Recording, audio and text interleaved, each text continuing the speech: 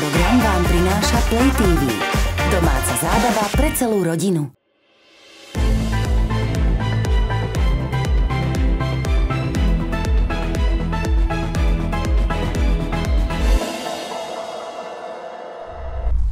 Kto zabojuje o post hlavy štátu je už známe. Prečo kresťanskí demokrati nepostavili vlastného kandidáta, koho vo voľbách podporia a ako opozícia plánuje ďalej bojovať proti zámeru koalície radikálne zmeniť trestný zákon. Mojím hostom je poslanec Národnej rady za KDH Martin Šmilňák. Vítajte. Dobré ráno, prajem. Tak pokračuje sa v tom rokovaní v druhom čítaní k tej novele trestného zákona, ktorá má zrušiť aj úrad špeciálnej prokuratúry a znížiť tie sadzby a tak ďalej. Ako ste možno vnímali to obmedzenie zo strany koalície v prvom čítaní, keď už v podstate si povedali, že dosť, už sa to teda ide schváliť, už e, ste rečnili a pripomienkovali vo veľkom e, množstve. A ako očakávate, že bude prebiehať to druhé čítanie? No, v prvom rade pán Pellegrini nedodržal slovo. E, keďže takú rozsiahlu novelu, ako je novela trestného zákona na viac ako 60 stranách, dali do parlamentu v skrátenom legis- legislatívnom konaní, tak pán e, predseda povedal, že nebude zasahovať do debaty a ne- neutne ju. A urobil tak, takže e, z môjho pohľadu ten človek si nestal za svojím slovom. Čo môžeme očakávať od toho druhého čítania? Pre mňa je to škola v tom, že aj keď pán Pellegrini niečo povie, aj keď povie o e, nejakej novej politickej kultúre, nedá sa mu celkom veriť. A očakávam, že urobia presne to, čo potrebujú a v čase, keď im to príde vhod. Čiže povedzme, keď e, budú protesty, tak vtedy dajú najdôležitejšie hlasovanie alebo urobia proste nejaké také kroky, aby nás obmedzili. V čom ale slovo dodržali je to, že priniesli nejaký pozmenujúci návrh. Um, Smer uh, cez Tibora Gašpara napríklad teda navrhol, že USP sa má zrušiť 15. marcu, ale to preto, že k tomu 15. januáru, ako bol pôvodný zámer, sa to už nestihlo. Ale zmenilo sa tam napríklad, uh, že väčšia škoda má byť 20 tisíc eur, nie 35 tisíc, ako sa navrhovalo.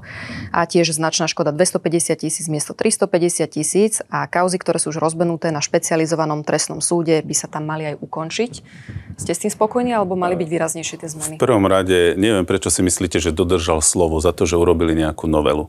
Už to, že dali e, tak rozsiahlu vec v skrátenom konaní, my považujeme za protiústavné, pretože ľudia, celá spoločnosť sa s tým nemohla e, dostatočne oboznámiť. Vôbec tomu nemohla e, nejakým spôsobom čeliť alebo namietať odborná verejnosť a preto e, neprebehli všetky pripomienky do takej miery, aby sa dosiahla celospoločenská zhoda. To, že pripustili nejaké kozmetické úpravy, to je e, ich hamba, lebo ak niečo robím v zrýchlenom konaní, tak robím to preto, že to je nevyhnutné a máme to pripravené.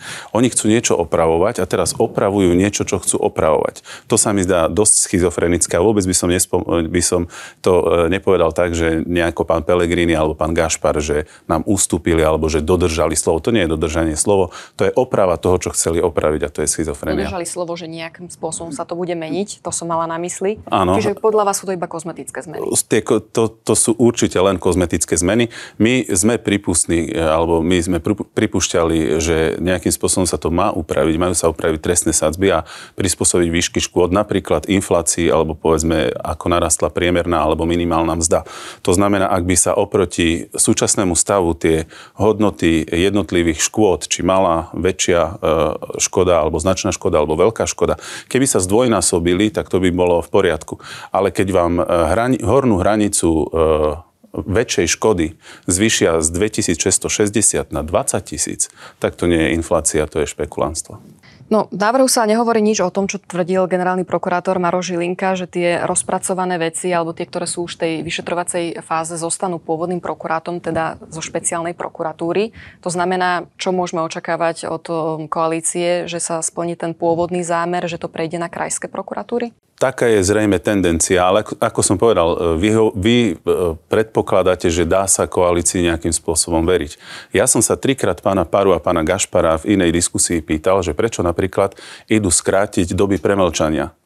E, veď doba premlčania je pasívna vec, ktorá, ktorá plinie a nikoho nejakým spôsobom neobmedzuje ale keď ju skrátite, tak definitívne niektoré kauzy, ktoré by boli možno odhalené, už nikdy nebudete môcť otvoriť, lebo prešla doba premlčania. A teraz sa pýtam, keď trikrát som sa to pýtal týchto pánov, a takisto aj pána Suska, tak e, boli ticho. A ja sa pýtam, komu to má slúžiť. A nech si diváci odpovedia sami. Keď niekto skracuje doby premlčania, určite chce dostať, e, dostať e, z podozrenia alebo z nejakých, z nejakých problémov niekoho, kto urobil niečo zlé a čakáme, kedy sa to premlčí. Alebo je to inak? Uvidíme, keď sa to pretaví do praxe, ak sa to teda schváli, ale zrejme teda áno. KDH má nejaký návrh zmien? My máme niekoľko návrhov zmien, ale takou našou prvou červenou čiarou, odkedy sme, e, už, už keď sme kandidovali do Národnej rady a keď sme sa stali aj, aj e, parlamentnou stranou, tak my hovoríme, my nechceme zrušiť úrad špeciálnej prokuratúry. Prečo? Pretože táto inštitúcia je tu 20 rokov, plní svoje poslanie, e, pracuje veľmi výkonne, e, je tam viac ako tisíc živých prípadov. My nevidíme dôvod, aby sa úrad špeciálnej prokuratúry rušil. Samozrejme, pripúšťali sme zníženie trestných sadzieb, ale ale nie v takej kombinácii, že sa tak výrazne navyšia e, tie limity, kedy je malá, väčšia a veľká škoda a, roz, a rozsiahla škoda. A takisto je ne, nezmysel toto všetko ešte spojiť aj so, so skrátením doby premlčania. Toto všetko je nastavené pre tých, ktorí sú už e, súdení alebo stíhaní, ktorí proste majú za ušami a čakajú na nižšie tresty. V tomto ste jednotní aj s ostatnými opozičnými stranami? Tak e, opozícia to nie je jedna politická strana. Každý z nás je trošku iný, každý z nás má iný pohľad na vec, ale vieme si navzájom podporiť e, za, zaujímavé a dobré veci, ktoré e, my považujeme za prospešné pre spoločnosť. Ako bude vyzerať to rokovanie v pléne? V tom prvom čítaní boli tie obštrukcie, to niekoľkodňové čítanie. Či plánujete pokračovať v tomto, ak vám to teda umožní predseda parlamentu? No, mlieko je už rozliaté. Ja si myslím, že ešte e, celá tá kauza, celý celá tá novela trestného zákona môže skončiť na ústavnom súde a ten môže niečo zvrátiť. Ale aby sme nepremrhali šancu a mlieko je už rozliaté, tak naša snaha a naša taká koncepcia je, že minimalizovať straty. To znamená, my prídeme s niekoľkými pozmeňovacími návrhmi, tak aby sme podľa možnosti čo najviac vylepšili ten trestný zákon, aby bol pre spoločnosť prospešný a nie aby bol prospešný pre gaunerov. Aj prezidentka Zuzana Čaputová už avizovala podanie na ústavný súd, ale v tomto prípade v podstate ako keby už na tom až tak nezáležalo, pretože stačí, aby bola táto novela účinná len jeden jeden deň a už v podstate tie zmeny sú aplikovateľné do praxe a už podľa vás, ako tvrdíte, že to má pomôcť určitým ľuďom, už e, im to teda pomôže. To je, to je nešťastie toho zákona a to je tá, taká, také premyslené konanie tých ľudí, ktorí túto novelu pripravujú. Aj keď sa pozriete na to, že kto ju pripravuje, kto ju predkladá, kto ju vylepšuje, akým spôsobom, tak vám je hneď jasné, že, že o akú skupinu ľudí ide a komu to, to má pomôcť. E, my sme samozrejme proti tomu, aby, aby to platilo čo je len jednu sekundu, lebo ak áno, tak potom všetky účinky sa budú stiahovať na tých, ktorí sú v živých konaniach, ktorí sú obvinení, ktorí sa musia vyviňovať z veci. Teraz im hrozí hrozí povedzme za to, že e, urobili škodu vo veľkom rozsahu. Veľkú škodu, to znamená, dnes je to hranica 133 tisíc eur a tam im hrozí natvrdo 10 až 15 rokov basy. Po novom to bude podmienočka a za, za pár dní sú to ctihodní občania. Plánujete pokračovať aj v protestoch, lebo v podstate boli úspešné, bolo ich 6 a nestrácali na intenzite. Práve naopak, zúčastnilo sa aj 27 tisíc ľudí približne v Bratislave. Či v tom plánujete pokračovať v organizácii aj po schválení? Ono sa to zdá, že to už nebude mať nejaký zmysel. Že, či teda s týmto nejakým spôsobom počítate, alebo akým spôsobom chcete upozorňovať na to, keď už sa tá novela pretaví do praxe, že čo to vlastne spôsobilo? To, či budeme pokračovať v e, protestoch, to je vecou dohody politických strán a ich jednotlivých vedení, a či to bude mať ďalej zmysel alebo nie. Na teraz tie protesty zmysel mali, e, dokonca aj pod ich váhou a pod váhou toho, čo robila opozícia v parlamente, predsa len dochádza k istým zmenám a k istým korekciám tohto trestného zákona. Čiže e, to, ako ste to vyhodnotili vy, že doteraz to malo veľmi dobrý efekt a malo to význam. Ak zvážime, že, že to pôjde ďalej a bude to prinášať osoch spoločnosti, tak to môžeme pokračovať.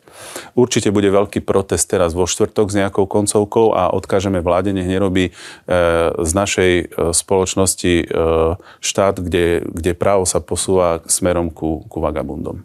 Ešte jedna podotázka k tým protestom. Tam chvíľu hrozilo, že KDH ako keby nebude už účastné na týchto protestoch, čo sa týka organizácie. Dôvodom bolo, že sa tam nespomínali len tieto témy, trestný zákon a, a novela, ale že sa tam spomínala téma LGBTI plus ľudí. Z hľadiska kresťanských demokratov ja tomu rozumiem, že toto bola téma, ktorú nechcete, aby sa spomínala, ale prečo vám prekážalo, že by sa to už malo spájať s prezidentským kandidátom Ivanom Korčokom, keď KDH v podstate nepostavilo vlastného kandidáta, o tom sa viac ešte porozprávame.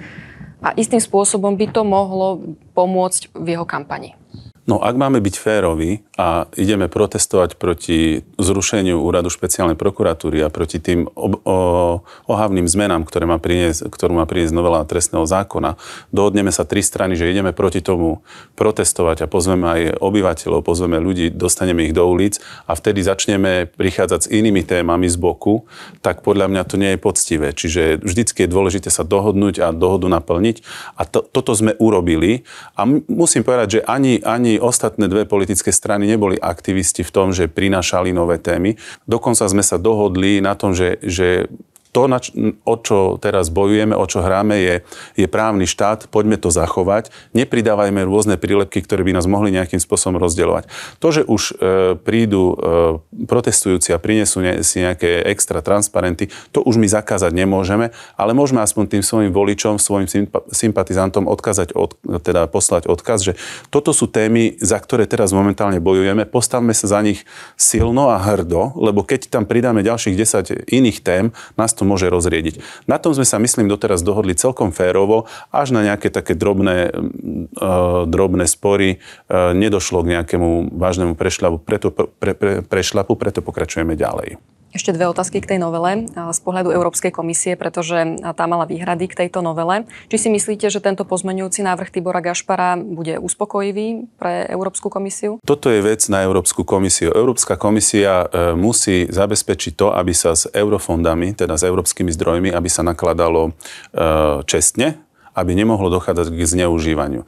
A vláda bude povinná e, do celé to, do celého toho procesu zakomponovať také mechanizmy, aby sa európske zdroje nemohli zneužívať. Ak to neurobíme, tak potom Európska komisia príjme nejaké kroky. Koalícia pomerne ostro vyčítala slovenským europoslancom, že v podstate klamali, budem ich citovať, že kydali na Slovensko, keď tvrdili, že tu je zámer zrušiť špecializovaný trestný súd, pričom ide o úrad špeciálnej prokuratúry, že zavádzali a klamali.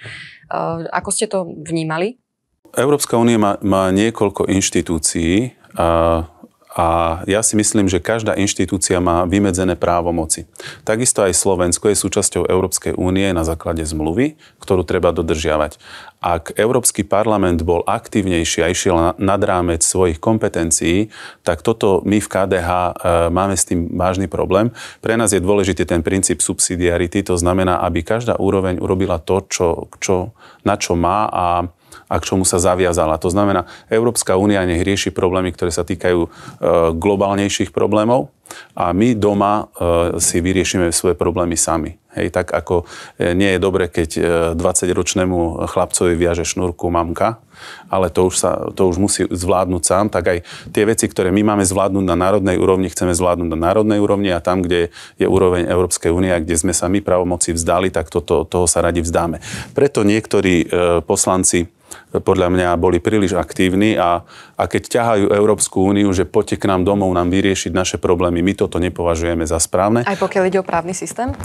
Pokiaľ ide povedzme o čerpanie eurofondov a o, o to, aby boli čerpané v zmysle dohody, tak vtedy Európska únia má právo, dokonca povinnosť zasahovať.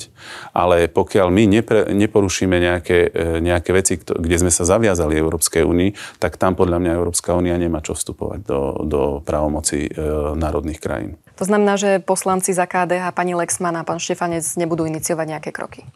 E, pani Lexman e, nie je za to, aby sa, aby sa cez rezolúcie, ktoré pripraví parlament, aby sa nejakým spôsobom e, švihalo bičom nad jednotlivými krajinami alebo zdvíhal varovný prst.